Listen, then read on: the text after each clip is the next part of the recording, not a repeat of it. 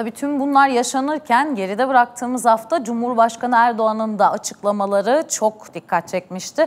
Salı günü meclis açılışında Erdoğan, İsrail'in Filistin ve Lübnan'dan sonra gözünü dikeceği yer bizim vat vatan topraklarımız demesi e, epey bir konuşulmuştu. Ardından da Cuma gününe döndüğümüzde Teknofest'te konuşma yapmıştı ve bu açıklamayı bir adım daha öteye götürerek arzı mevut yani vaat edilmiş topraklardan bahsetti.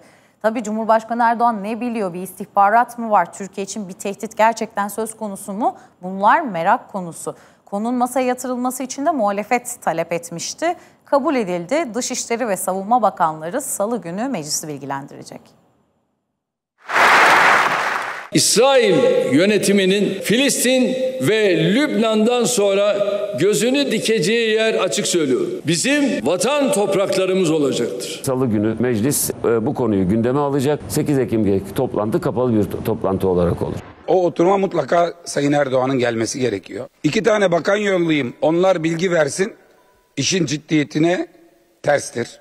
Önce Gazze ardından Lübnan. İsrail'in saldırıları hız kesmeden sürerken Türkiye Büyük Millet Meclisi 8 Ekim günü tek bir gündemle İsrail saldırılarını konuşmak için toplanacak. Dışişleri Bakanı Hakan Fidan'la Milli Savunma Bakanı Yaşar Güler, Türkiye'nin aldığı tedbirlere ilişkin Meclis Genel Kurulu'nu bilgilendirecek. Bölgeyi yeniden dizayn etme, vaat edilmiş topraklar hedeflerini gerçekleştirmek için düğmeye bastı. Kendi hedeflerinin son aşamasıdır. Yangın artık kapımıza geldi. İsrail Orta Doğu'da bir ateş çukuru açtı. Buna karşı uyanık olmak ve bu büyük e, zalim gücü durdurmamız lazım. Yasak sağlamak için böyle bir oturum olursa bunu çıkar millete ifade ederim. Böyle bir güvenlik meselesini suni olarak şişiriyorlarsa bunu da millete şikayet ederim. Türkiye Büyük Millet Meclisi'nin almış olduğu bu karar çok yerindedir. İsrail'in Hamas'ın 7 Ekim saldırısı sonrası Gazze'de başlattığı katliamda bir yıl geride kaldı. Orta Doğu ateş hattına döndü. Cumhurbaşkanı Erdoğan'ın İsrail'in gözü Türkiye'de çıkışı gözleri bir kez daha İsrail'in sivil katliamına çevirdi. Sorumlu bakanlıkların vereceği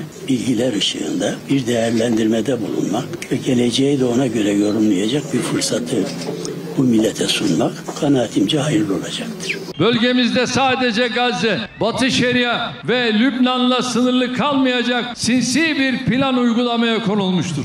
İncirliği, Küreci'yi kapatın diyoruz. Böyle bir adım atmaktan uzaksınız. Bu tablo karşısında biz de mikrofon mücahitliği demekten başka bir çare bulamıyoruz. Cumhurbaşkanı Erdoğan Adana'daki Teknofest programında da İsrail saldırılarını hedef aldı. O sırada Erdoğan'a İsrail'le ticaret protestosu yapıldı. İsrail'le ticaret Filistin'e ihanet sloganı yükseldi. Gözaltına alındı protestocular. Daha sonra da serbest bırakıldı. İsrail'le ticaret İsrail'le ticareti 20 senede 4 misline çıkarttınız. 7 Ekim'den sonra dahi ticarete devam ettiniz ve halen daha İsrail'le ticarete devam ettiğinize dair çok ciddi şüpheler ve iddialar var. İsrail'le ticaret,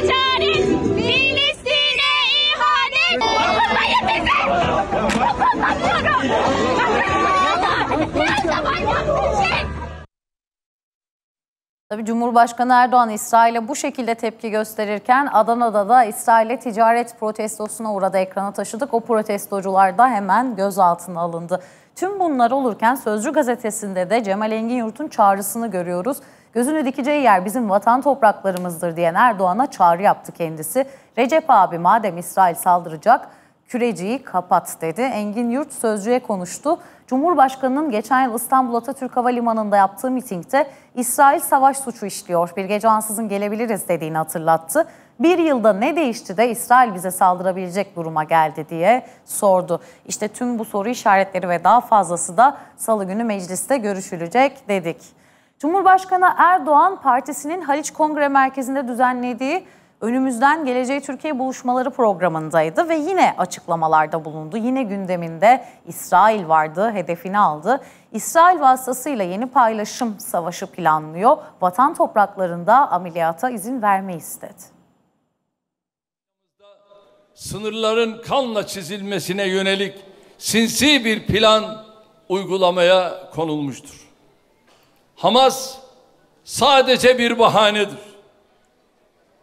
Hizbullah sadece bir bahanedir.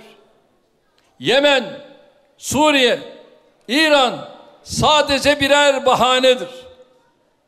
işgal ve istila politikasını meşrulaştırmak için İsrail hükümeti her gün yeni bir mazeret üretmektedir.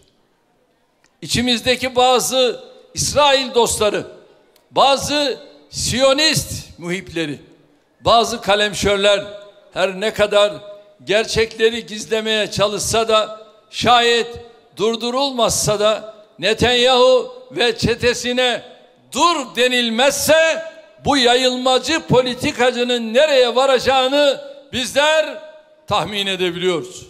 İsrail vasıtasıyla yeni bir paylaşım savaşının hem de çok kirli bir savaşın yürütüldüğünü görüyor ve tüm tedbirlerimizi buna göre alıyoruz. Her karışı şehit kanlarıyla sulanmış vatan toprakları üzerinde ameliyat yapılmasına müsamaha gösteremeyiz.